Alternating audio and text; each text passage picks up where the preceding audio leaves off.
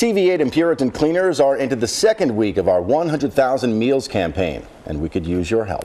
This year, local schools are coordinating their own food drives and have added their donation to our campaign. Matt DiNardo has more now from Chamberlayne Elementary School.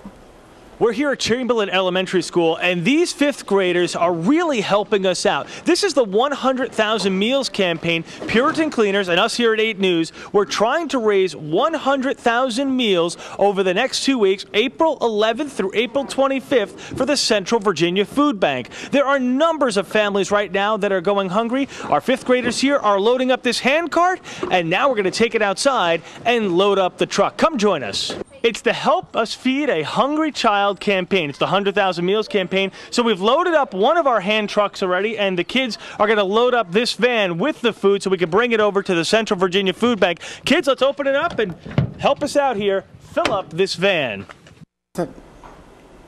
The 100,000 Meals campaign runs through Sunday, April 25th. Now, you can help by donating food or money at any Puritan Cleaners location. Or you can just go to our website, WRIC.com, and click on the 100,000 Meals icon.